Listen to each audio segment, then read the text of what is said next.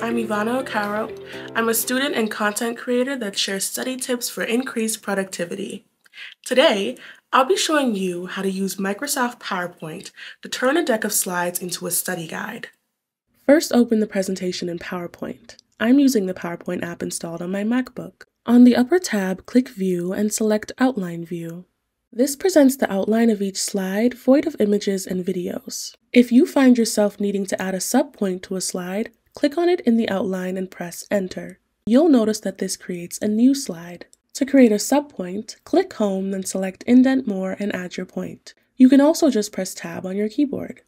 For larger presentations, you may find yourself wanting to see a brief overview of the topics included.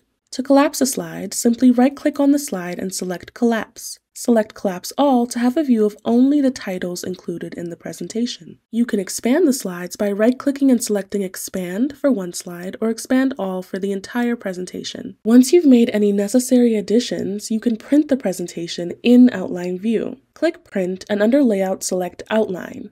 You can also save your outline as a PDF for digital use. Now you have a full overview of your class slides as a study guide.